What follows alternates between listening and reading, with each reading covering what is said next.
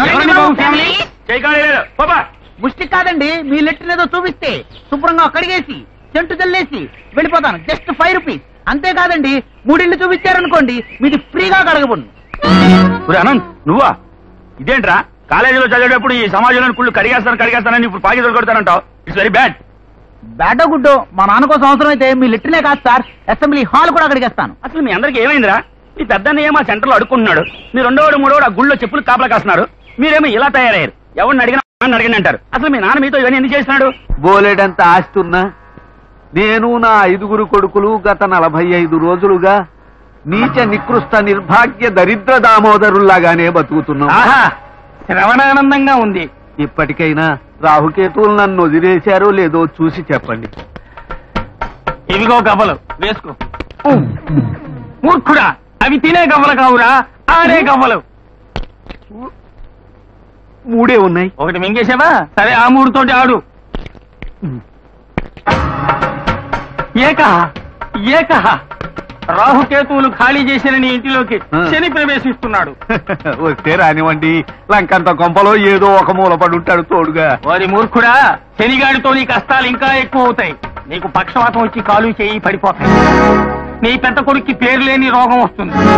నీ రెండో కొడుక్కి మందు లేని జబ్బు వస్తుంది. నీ మూడో కొడుక్కి. ఆ, వద్దు వద్దు స్వామి. దీనికి ఏం విరుగుడు లేదంటారా?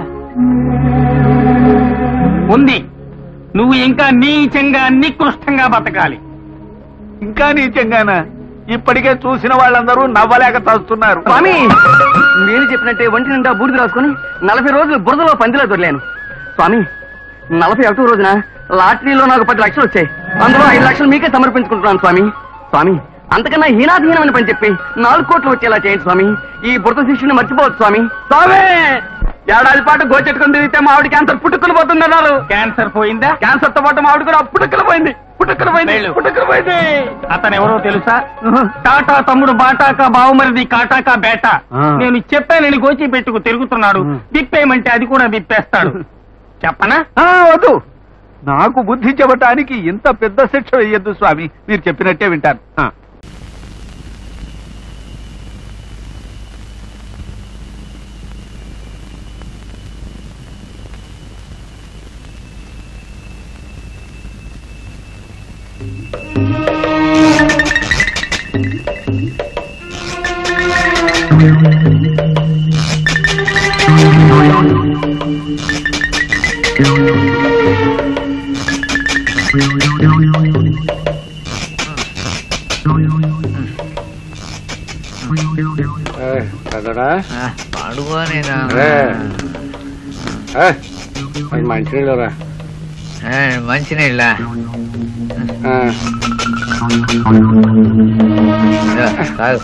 చెంబులు బాల్చీలు కదరా గ్లాలు పోసిరా.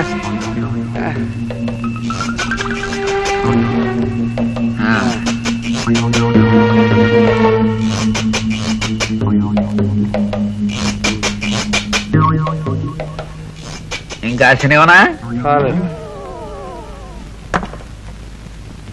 రే నానా కుక్క మెడలో కట్టాల్సిన గోల్స్ నీ మెడలో వేసుకుంటారా ఛీ!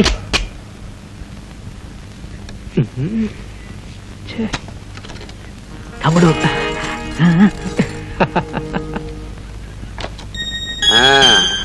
మీరు ధర్మారావు గారు అబ్బాయిలు కదా? మీకు బంగారం అమ్ముకోవాల్సిన అవసరం వచ్చిందయ్యా? అవును కాంపిటీషన్ ఇంట్లో కానీ దొంగతనం చేశారేమిటి మా ఇంట్లో దొంగతనమా. ఓసారి మీరు ట్రై చేయండి? ఎంత కష్టమో మీకే తెలుస్తుంది నిజమేనండి. అవును ధర్మారావు గారు లక్షాధికారి కదా? ఆయనకి డబ్బుతో అవసరం వచ్చిందయ్యా? అసలు విషయం ఏమిటంటేనండి మా నాన్న దగ్గర ఉన్న డబ్బంతా వడ్డీలకి ఇచ్చేసాడండి ఎరా నిజమేనండి. ఆ, ఇప్పుడు తనకి బాగా కావాల్సిన వ్యక్తికి. డబ్బు అవసరం వచ్చిందండి. వారికి ఇవ్వడానికి మా నాన్నగారి దగ్గర డబ్బులు లేవు.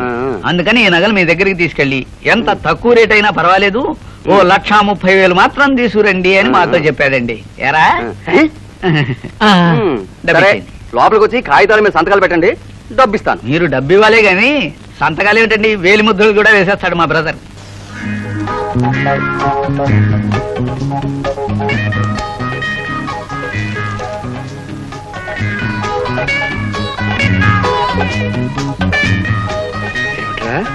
నోట్లో సిగరెట్ కాలు మీద కాలు?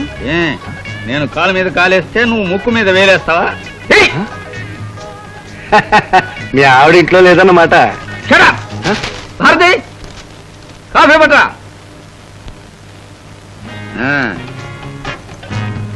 కొంచెం కాళ్ళు పట్టు.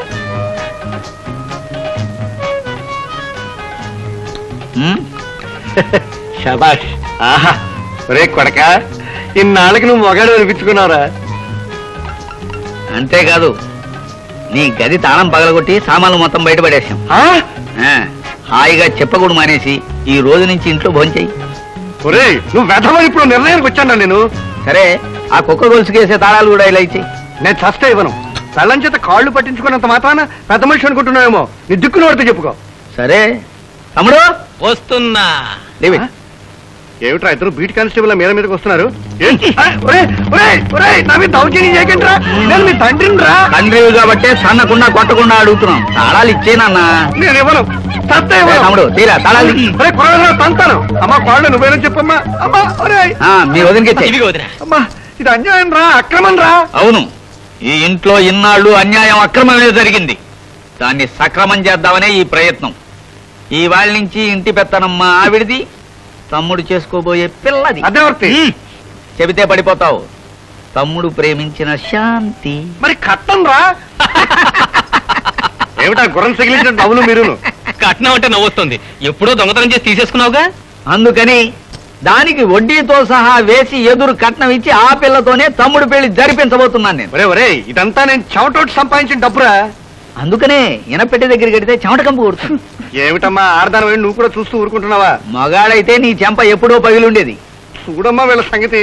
ఇంకా అర్థం కాలేదా? మీకు ఇష్టమైతే ఇంట్లో ఉండండి. ఇంత పిండ కూడా పడేస్తా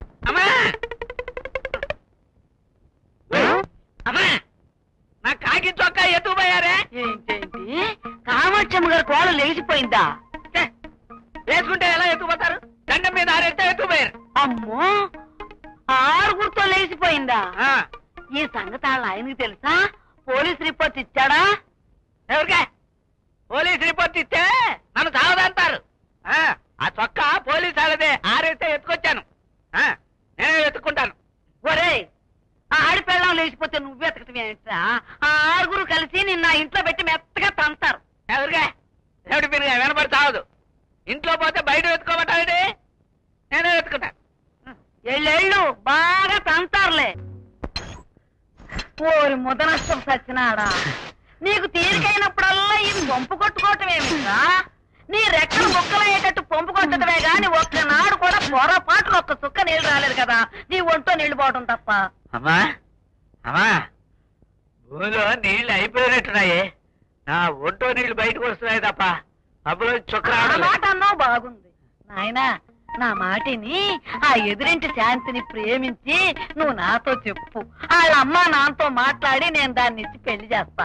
అదిగా అదే ఆ ఎదురింటి శాంతిని ప్రేమించి పెళ్ళి చేసి ఉంటానే చా, నోర్మయ్య యాదవ్ సచ్చినాడా నేను ఒకటి చెప్తే నువ్వు ఒకటి అంటావు. ఎదురింటి శాంతిని పెళ్ళి చేసుకో అడ్డమైన ఆడం చేసుకుంటానంటే నేను చేయను. అమ్మా అమ్మా అమ్మా అమ్మా. ఆ ఎదురింటి శాంతిని ప్రేమించి పెళ్ళి చేసి దున్నపోతు సచ్చినాడా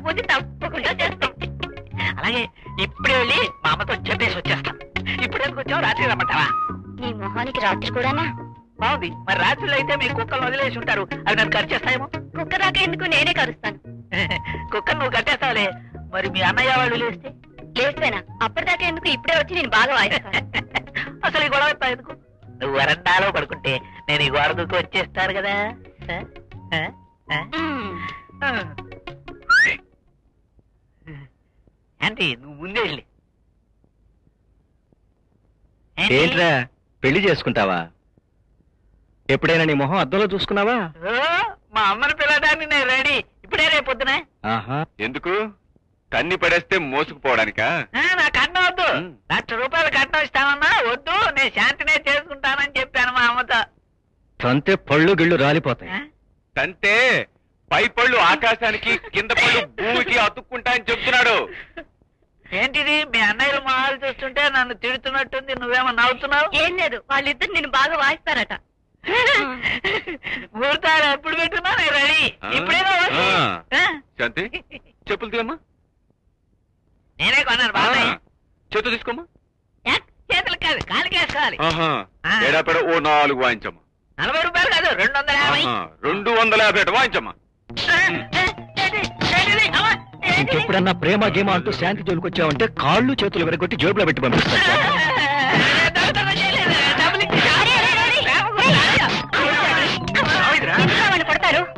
వీడికి శాంతి కావాలి. పాపం వాడు వదిలేయండి పోరాపో ఉమ్, శాంతి నువ్వు లోపలికి వెళ్ళు వెళ్ళిపా. పని మీరు. అయ్యో తల్లి. మళ్ళాంటి పరువు గల్ల కుటుంబాల్లో జరగకూడదు జరిగిపోయిందమ్మా. ఏమిటో? చెట్టుకు పండుంటే కొయ్యకుండా వదిలిపెడతామా? మొక్కకు పువ్వు ఉంటే గిల్లకుండా వదిలిపెడతామా? రోడ్డు మీద రూపాయి కనపడితే తీయకుండా వదిలిపెడతామా? ఒంటరిగా ఆడపిల్ల కనపడ్డా అంతే. ఇంతకీ నాకు తెలియక అడుగుతాను ఎంతమంది చేశారంటావు? నాకు అనుమానం. రేపు చేసింది ఆవినే ఈవినే నోర్మయ్యరా మొదనష్టం సచ్చినాడా. కడుపు సంగతి తెలియాలంటే ఇంకా రెండు నెలలు ఆగాలి. ఓహో ఇద్దరిని చేశారా? ఏంటో? బాబు అయ్యో నాయనా ఎంత ఘోరం జరిగిపోయింది ఎంత ఘోరం జరిగిపోయింది. నిప్పులాగా ఉండేవాడివి బొగ్గులాగా అయిపోయావు. ఇంత జరిగాక ఇంకా నలుగురిలోనూ తలెత్తుకుని ఎట్టా తిరగలవు వాళ్ళొక మాటని వీళ్ళొక మాటని. చివరికి అవమానం భరించలేక ఏ మాత్రలో మిగి చచ్చిపోతావు? ఈ ఏడు మాని ఆ రేపు జరిగినప్పుడు ఈయన అక్కడ ఉన్నాడో లేదో కనుక్కనే నోరుపోయిరా ఆడసలే కుమిలిపోతుంటే మళ్ళీ రెండో పెళ్ళి ఎప్పుడు చేసుకుంటావని అడగమంటావా? బాబు అయినా నువ్వెంత అదృష్టవంతుడు అయ్యా నీకు కూడా పెళ్ళయి ఉంటే మీ ఆవిడ మీ వదిన ఇద్దరు కలిసి బజార్ వెళ్ళేవాళ్ళు ఆ ముదనష్టం సత్యనాడు ఇద్దరిని కలిపి మరీ మానభంగం అమ్మాయి కోపం వచ్చింది. ఈయన రేపు చేసి ఉంటాడు అయ్యో అయ్యో అయ్యో. వాడిని నైనా వాడంతటి వాడు కాదు. ఇంకోసారి ఇంట్లో కాలు పెట్టారంటే చంపేస్తాను. తంటాడా తంటాడా బాబు మా తంటాడు కనపడ్డాడా? చంటాడా? ఎక్కడో పాలు తాగుతుంటాడు. పార్క్లో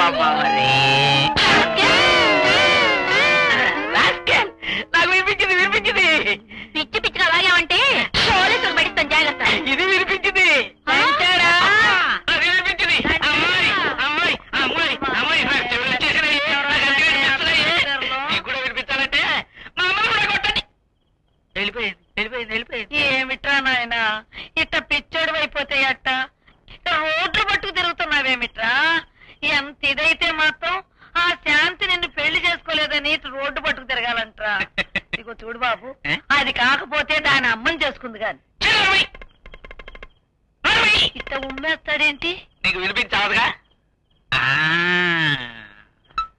ఏమిటి?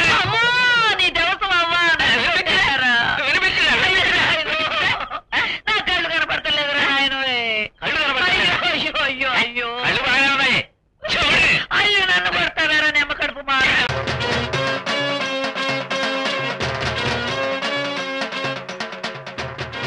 రేయ్ ఏంట్రా అంత పరీక్ష చదువుతున్నారు ఉద్యోగ రేఖ ఎక్కడ ఉందా అని.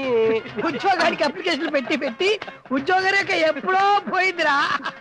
అసలు ఉంటే కదరా అరిగిపోవడానికి ఏమై ఇట్రా? ఏంటి బాబాయ్? అర్జెంట్గా డబ్బులు తెచ్చుకోవాలని నా సైకిల్ తీసుకెళ్ళావు. ఆ, ఏమైంది? సైకిల్ మీద డబ్బులు తెచ్చుకున్నా? సైకిల్ మీద వెళ్ళి డబ్బులు తెచ్చుకున్నావు బానే ఉంది. మరి నా సైకిల్ ఏది? అబ్బా నీ సైకిల్ మీద ఐదు వందలు తెచ్చుకున్నాడయ్యా. అది సరేనయ్యా మరి నా సైకిల్ ఏది? సరే చెప్తే అర్థం చేసుకో నా నేను సైకిల్ మీద తెచ్చుకున్నా. అర్థం చేసుకోవాలి కదా నువ్వు? బాబు చెప్తున్నాడు కదా అర్థం చేసుకోవా? అరే చెప్తే అర్థం చేసుకోడేంట్రా బాబు నీ సైకిల్ మీద వెళ్ళి ఐదు వందల రూపాయలు తెచ్చుకున్నాను. అది చెప్తే అర్థం చేసుకోవాలి కదా? నేను ఐదు వందల అది సరే నా రూపాయలు సైకిల్ ఏది? అరే రే రే రే అబ్బబ్బబ్బబ్బబ్బబ్బా, చెప్తే అర్థం చేసుకో. మళ్ళీ ఏదన్నా వెధ పని చేశారా? చిచి ఏదో పని ఏం లేదు బాబాయ్. ఆయన సైకిల్ మీద ఐదు వందలు తెచ్చుకున్నా అంతే. మరి నా సైకిల్ ఏది? అబ్బా చెప్తే అర్థం చేసుకోండి ఏమండి బాబు? బాబాయ్ ఇలాంటి విషయాలు మీరు చాలా చక్కగా చెప్తారు. చెప్పండి. నీ సైకిల్ మార్వాడి దగ్గర తాకట్టు పెట్టి వారు ఐదు వందలు తెచ్చుకున్నా. చాలా చక్కగా చెప్పారు. అర్థం చేసుకో సాయంత్రం లోపు నా సైకిల్ ఇవ్వకపోతే బంపర్లు పగిలిపోతాయి జాగ్రత్త.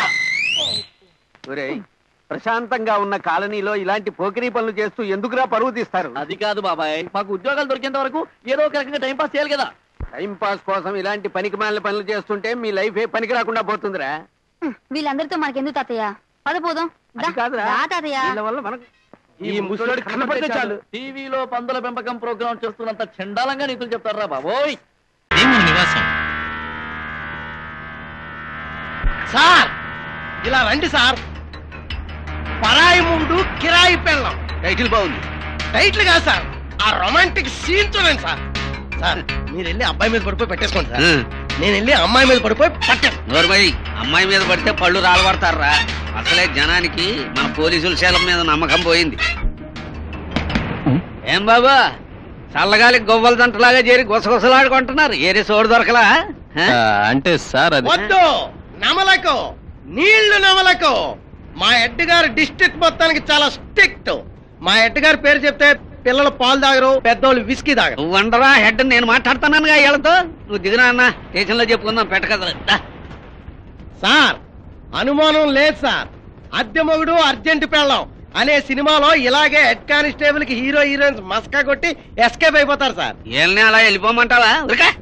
మేము అలాంటి వాళ్ళం కాదు సార్. మేమిద్దరం ప్రేమికులం సార్. ఆ, అర్జెంట్ ప్రేమికులా ఆర్డినరీ ప్రేమికులా? టెంపరీ ప్రేమికులా పెర్మనెంట్ ప్రేమికులా? ఏంటది? అది మేము భార్యాభర్తలం. అయితే తాలిబొట్టు చూపించే తల్లి. అది తాలిబొట్టు చిలక్కొయ్యికి తగిలించేసి వచ్చావా చిలకమ్మా? మాకింకా పెళ్ళి కాలేదు సార్. ఏయ్, ఇందాక పెళ్ళి అయిందన్నావు ఇప్పుడు పెళ్ళి కాలేదంటున్నావు? ఇంతలోనే ప్లేట్ ఫిరాయింపా పెళ్ళి నీకు పెళ్ళం నాకు సినిమాలో ఇదే సీన్ సార్. నువ్వేంట్రా బాబు సినిమా పేర్లతోనే మర్డర్లు చేసేటట్టున్నావు? అయితే ఈ రాత్రికి మీకు ఫస్ట్ క్లాస్ అయిన లాడ్జింగ్ మా లాకప్ రూమే. రేపు మీకు జైల్లో పర్మనెంట్ రూమ్ ఏర్పాటు చేస్తాం. వాడి లేదని చెప్పాను కదా. ఐదో నెంబర్ సెల్లో జేబు కేటుకెళ్ళి ఖాళీ చేయించేద్దాం సార్. సార్ పారిపోతున్నారు సార్? అయితే. ఏంటి బాబు ఉడత పిల్లల్లా పరిగెట్టేశారు తప్పించి పారిపోదాంలే చూడండి బాబు. ఆడు విశాఖపట్నంలో ఉంటే ఆడి కాళ్ళు విజయవాడలో ఉంటాయి. పీటీ వసనైనా పీకట్టు నాపేయగలడు నడండి మీకే స్ట్రాంగ్ అయిపోయింది. సారో మొగుడున్నా పర్వాలే సినిమాలో ఇదే సెటప్ లాభం లేదు మీకు లాకప్పే బెటర్ నడండి. నడే. ఈ కార్ చూసారా? ఇది మా సీతాపతి మావయ్యది సీతాపతి మావయ్య. ఆయన క్లబ్కి వెళ్ళారు ఆయన కోసం మేము వెయిట్ చేస్తున్నాం. మరి మీరు క్లబ్కి వెళ్ళొచ్చుగా మా మావయ్య మందు కొడతారు సార్. అలాంటి చోటికి ఆడపిల్ల వెళ్ళొచ్చా? అవును సార్. ఒంటరిగా ఉంటే భయపడుతుందని నేను నిలబడ్డాను. మీరెళ్ళి మీ పని చూసుకోండి సార్. ఎందుకు? మీ సీతాపతి మావయ్యని పలకరించే వెళ్తాం. అడిగో మీ మావయ్య వస్తున్నాడు. మీరు వెళ్ళి కారులో కూర్చోండి. సీతాపతి మావయ్య? మావయ్య ఎవరు మీరు? నేను మనకు చరిత్రలు జాగ్రఫీలు తెలియవు. నన్ను కంగారు పెట్టకండి. కొంచెం సహాయం చేయండి సార్. సార్ సార్ కాస్త హెల్ప్ చేయండి సార్. పోలీస్ గొడవలో పడ్డాం. పోలీస్? మావయ్య? సార్ వీళ్ళు మీకు తెలుసా సార్? తెలిసేమిటండి మా తులసి మత్తు పోయాక మా మావయ్య పిచ్చివాడైపోయాడు. ఆ, మేము అతన్ని చిట్టి చిట్టి చంటి పిల్లలా చూసుకుంటున్నాం. వద్దంటే మళ్ళీ మందు మొదలెట్టావు బాబాయ్? నిన్న ఆత్మ ఎంత బాధపడుతుంది? నేను మా వాడితో చెప్పాను. విస్కీ తాగితే తలకి తెక్కెట్టుతుందా అని వింటాడా? ఇదిగో తాగితే గొడవలు ఇలాగే ఉంటాయి మరి. ఓ పని చేయండి. కారెక్కండి మ్మ్, ఎక్కండి. సార్ నిజంగా వీళ్ళు మీకు. మీరు వెళ్ళండి సార్. సార్ మీకు తెలియదు సార్. కళ్ళు మూసి జల్లగొట్టి సినిమాలో ఇలాంటి దొంగ మామయ్య అక్కడ బయలుదేరి. ఆయన పెద్ద మనిషిలా ఉన్నాడు పైపెత్తు తాగున్నాడు. అట్టంటే వారాలు మనం దూరామనుకో నేను నీ పొజిషన్కి నువ్వు కింద పొజిషన్కి వెళ్ళిపోతాం. వచ్చాయి. ఇంకా వంట ప్రారంభించలేదురా. లేదు నాన్న ఇప్పుడే బియ్యం జరుగుతున్నా. రే నాకు గారెలు తినాలందిరా అయితే ఇకనే ఇదే కరెక్ట్ టైం. దేశం మీదకి బయలుదేరితే ఏదో ఒక కొంపలో తదినం పెడుతూ ఉండకపోరు. లాభం లేదురా. ఈ మధ్య జనం మరీ బొత్తిగా పిసినారి విధంలా తయారైపోయారు. కొందరు తల్లిదండ్రులు తదినాలు పెట్టలేదు ఆ పెట్టిన కొందరు గారెలు ఉండలేదు నేను మాత్రం అలా చేయను. నీ ప్రతి తద్దినానికి నేతిగారులు చేయించుకుని నేనే తింటాను. ఆ, పోనీ ఓ పని చేయనా ఖర్చు ఏమి ఉండదు కదా ఆ నాలిక కోసి. ఏమిటి ఆలోచిస్తున్నావు? పటకారుతో పీక్కుందామనే బ్లేడ్తో కోసేద్దామనే. ఏమైనా చేయొచ్చు కానీ రేపు మళ్ళీ స్టాంపులు అంటించుకోవాలంటే జిగురు వేరే కొనుక్కోవాలి. ఇదేం లాభం లేదు కానీ రే కొంచెం ఖర్చు అయినా మనమే ఒక్క గారి వండుకున్నాం రా బాబో ధర్మం చేయండి బాబో. సద్దన్నం తిని తిని నోరు సవి చచ్చిపోయింది. గారెలు అంటున్నారు. రెండు గారెలు పెట్టించండి బాబు ధర్మ పెబులు గారెలు కావాలరా? చేగోడీలు పకోడీలు జిలేబీలు కూడా పెడతాను రా ముష్టి వేధవా. ఏడు చేస్తానండి? నాను ముస్తేదోనే కాకపోతే పోయిన జన్మలో నేను పీసిన కొట్టేదోని అయ్యి ఉంటాను. ఈ జన్మలో మూసి ఎత్తుకుంటుండా. పిచ్చి విధవ మా నాన్న ఈ జన్మలోనే అడుక్కు తింటున్నాడని వీడికి తెలియదు పెట్టరా. అలాగే నాన్న. ఒరే చిల్లు మాత్రం పెద్దది పెట్టు. ఎందుకు? పిండి మిగులుతుందిరా. పద. గారి పుచ్చి పిండ. నిగనిగా మెరిసిపోతుందిరా. చూడడానికి బాగుంటే తినడానికి బాగుండదు నాన్న. కదా అపసగిన మాటలు మాట్లాడుకో. ఆ, రే చేతులు కడుక్కొని వస్తాను. అరే నువ్వు కూడా వస్తారా? ఎందుకు? నేను అలా వెళ్ళగానే ఆ విషయంతో నువ్వు తినేస్తే? ఉమ్, తిన్ను. ఎందుకంటే అది తింటే మూడు రోజులు కూడు పెట్టవు నాకు. మూడు రోజులు భోజనం తగ్గిపోతే పోవచ్చు కానీ ఇప్పుడు నేను గారి నష్టపోతాను. రాతరా చెయ్యి కడుగు. నా చెయ్యి కాదురా నీ చెయ్యి. తినేది నువ్వేగా. పద. వింటే భారతమే వినాలి తింటే గారెలే తినాలి పెద్దలు ఊరికే చెప్పా. గారేదిరా? గాలికి ఎగిరిపోయిందేమో నాన్న. అది ముసుగుని వెతకరా. ఆ? మా ఆవిడ గాలి తినేస్తుంది నాన్న. ఆ? ఏమమ్మా నువ్వు ఇప్పుడు తిన్నది గారేనా? గారే. ఆ? ఏమిటండి? కోడి గారి కోసం ఇలా పడిపోవాలా? అది బోడి గారి కాదమ్మా చిల్లి గారి. అమ్మ నాన్న తాత బామ్మ. ఇంకా నయం. పోయాడనుకుని తిట్టాను కాదు.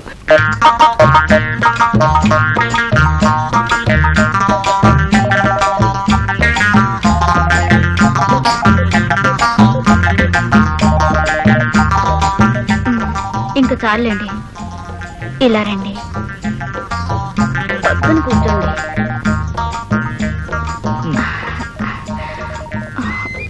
నా మీద చెయ్యండి మీ నాన్నతో చెప్పాలా? ఇక ప్రేమించండి. ఇంటి పని వంట పని అన్ని నువ్వు చెప్పినట్టు టైం ప్రకారమే చేస్తున్నాను.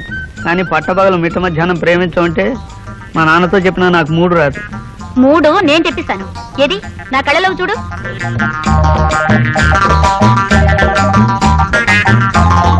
మీకు నిద్ర వస్తున్నట్టుంది కాసేపు పడుకోండి. ఛీ, నీకు అసలేం తెలీదు. నిజమే నేను కట్నం ఇచ్చుంటే అన్నీ తెలుసుకునేవాడిని మీరే కట్నం ఇచ్చారు కనుక ఆ ప్రేమ దోమం మీరే చూసుకోండి.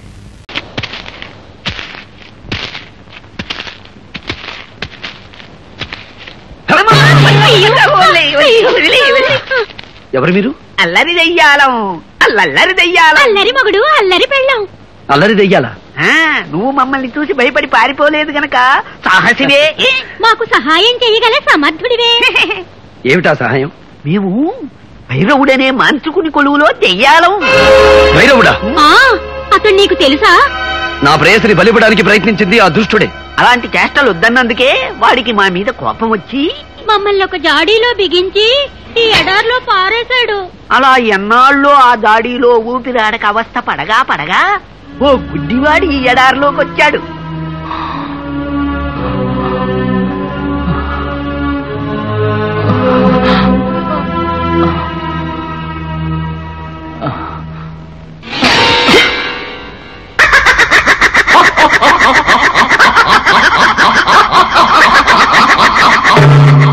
ఓహో ఓహో వీరాధి వీరా సాహో సాహో సహాయ సూరా ఎవరు? ఎవరది? దెయ్యాలం అల్లల్లరి దెయ్యాలం. అల్లరి మొగుడు అల్లరి పెళ్ళాం.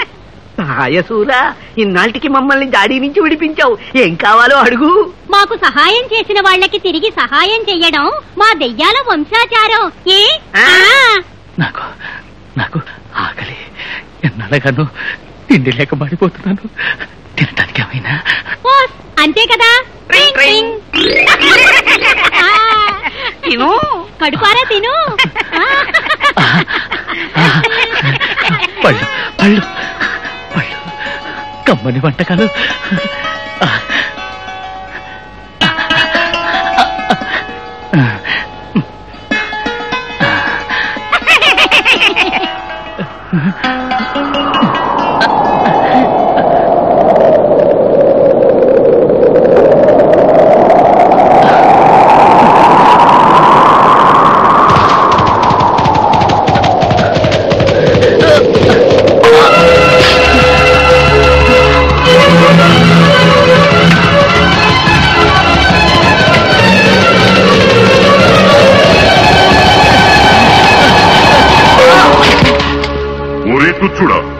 ఇష్టదైవమైన తుంబురుని ఆలయములో ప్రవేశించి ఆహారము సేవింతువా.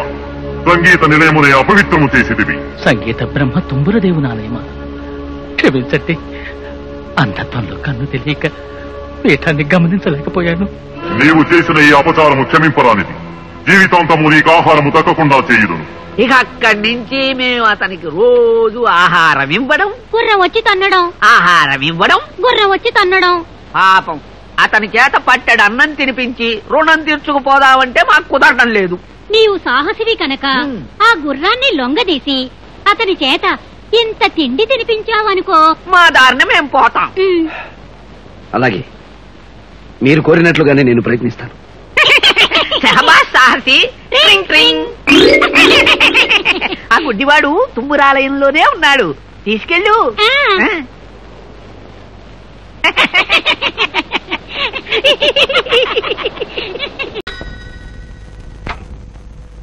హలో నేనే మాడుతున్నాను చెప్పండి.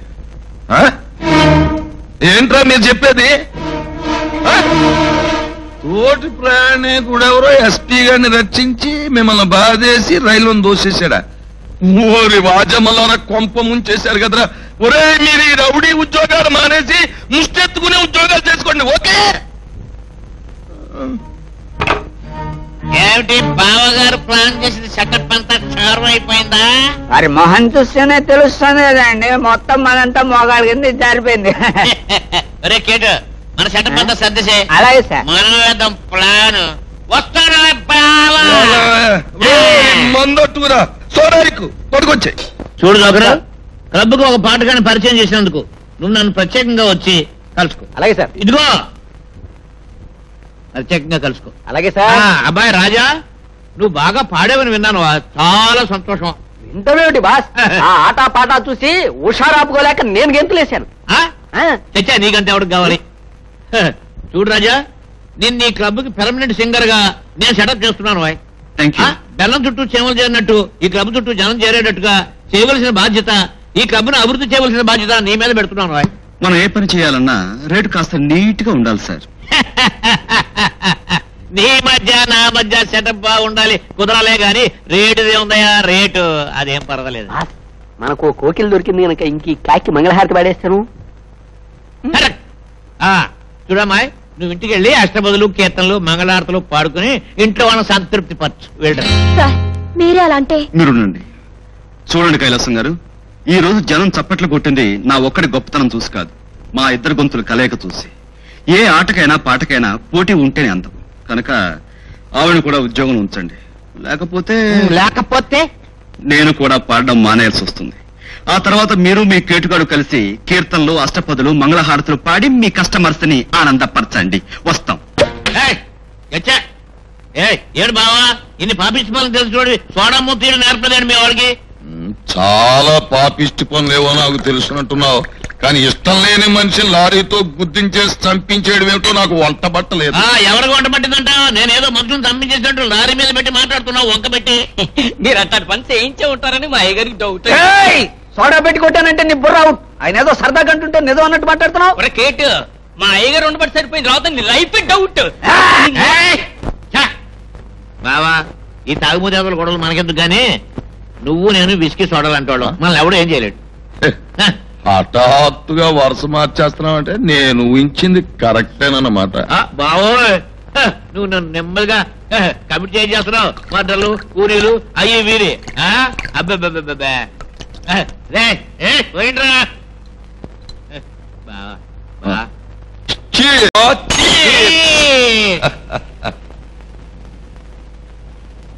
ఆ ఎస్పీ గారిని ఆ రాజా మీద ఉసుగొలిపేసి మనం తప్పేసుకున్నాం. ఏదో ఒక రోజున ఏదో ఒక మిష మీద ఆ రాజా గారిని కొట్లో వేసేస్తాడు. కానీ ఆ రాజాగాడు అసాధ్యుడే. ఈ నాటకం నడిపించింది నువ్వేనని తెలిస్తే వాడు నీ మీద పడి నీ చెయ్యి వంచేసి నీ కాలు విరిచేసి నీ కన్ను పొడి చేసి. ఇచ్చే నోర్మై.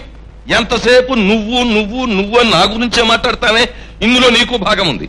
ఒకవేళ ఆ రాజాగాడికి అలాంటి దౌర్భాగ్యపు సంకల్పమే కలిగితే ముందుగా నీ ఇంటికి వచ్చి నీ పనే పట్టేస్తాడు. అసలు పిట్ట పెచ్చలాంటి కదా నీకు అలా అని విర్రవీగిన పురాణాల్లోని ప్రతి రాక్షసుడి పని పట్టాడు ఆ దేవుడు. తెలుసా?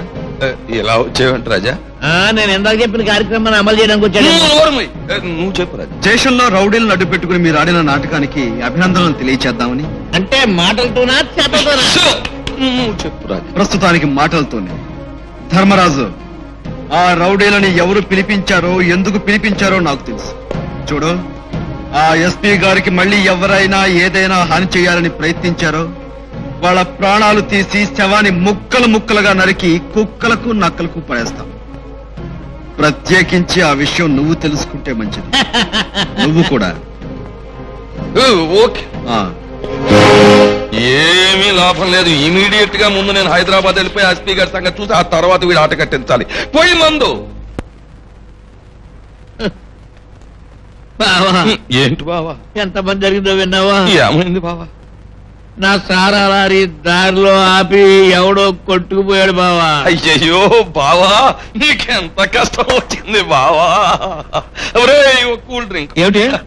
నా సారా లారీ ఎవడో కొట్టుకుపోయి నేను పక్కనే రోడ్డును పడితే నీ కూల్ డ్రింక్ సంతోషం ఉన్నా నాకే కాదు బావా. నుదుటు రాత రాసిన భగవంతుడు కూడా సరదాగా స్కూల్ డ్రింక్ తాగాలని ఉంటది ఈ సందర్భంగా.